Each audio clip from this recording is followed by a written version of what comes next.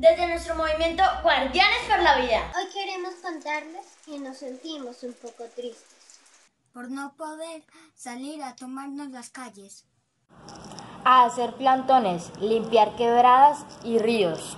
Y que hay conciencia ventanas. Sin embargo, sabemos que en nuestra conciencia y en nuestro corazón que no se puede defender la vida en riesgo. Por eso hacemos un llamado a todos los ciudadanos. A que mientras dure el aislamiento preventivo obligatorio, nos quedemos en casa y no hagan hostilidades. Que no solo nos ponen en riesgo a nosotros, sino también a los demás. Pensar colectivamente es la clave para generar transformaciones en la sociedad.